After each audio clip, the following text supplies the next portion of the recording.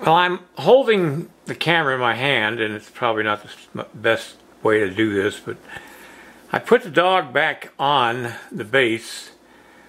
Uh, I worked on it a bit today. I've decided not to make a DVD on the uh, creation of this dog because I want to do it where I plan it out instead of just half, you know, coming into it uh, and, and having a second thought about doing that. I think what I'll do is do a larger dog and do it as a uh, single uh, item uh, for a instructional DVD at some point in the future. So I don't think I want to make this one into an instructional DVD.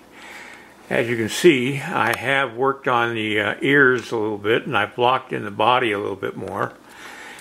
And I just added him back on the base just to see how it looks, and I think it looks fine. It looks uh, like a dog, uh, and it looks like the right size dog. So I'm going to keep working on it, and uh, I'll show you the video now that uh, I shot today.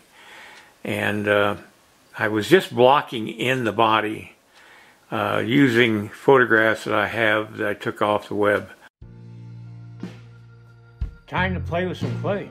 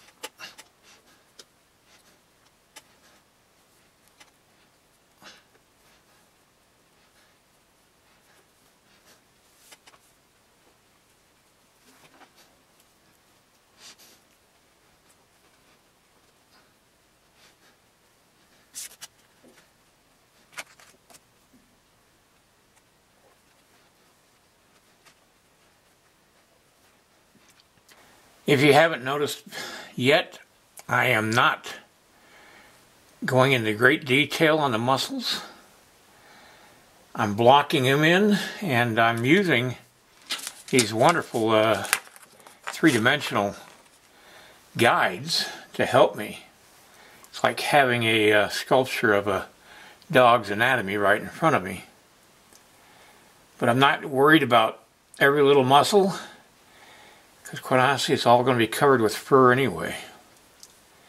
I just want to get the general shape and then I'll come back and uh, get everything uh, blocked in.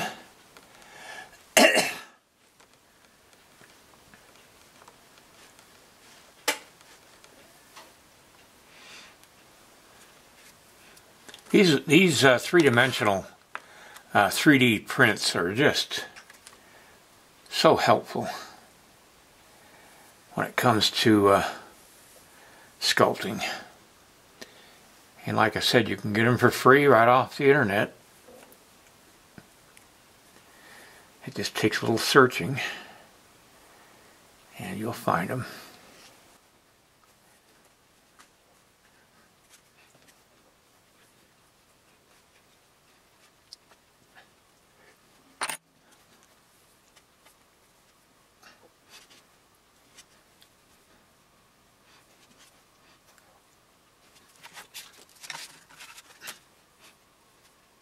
If you know the general anatomy of, like, say, a, a horse or any four-legged animal, they're all basically the same.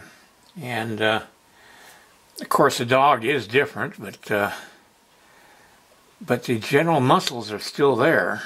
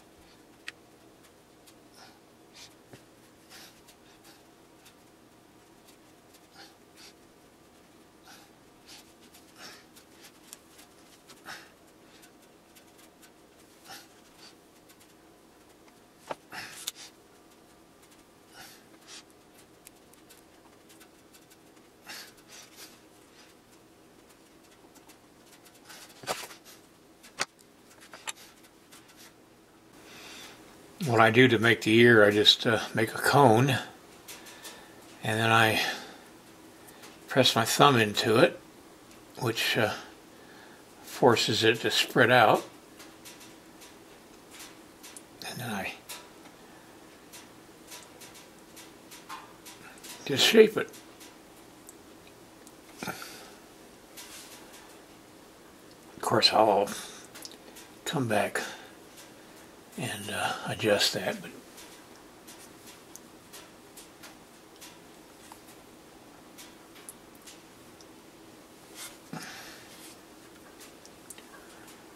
it's not quite where I want it, but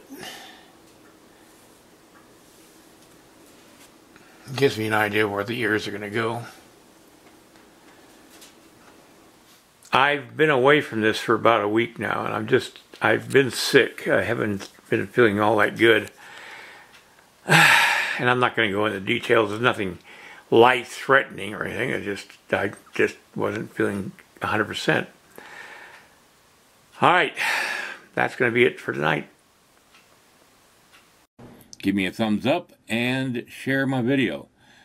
And then check out my instructional DVDs, uh, the link down below this video. All right, see you next time.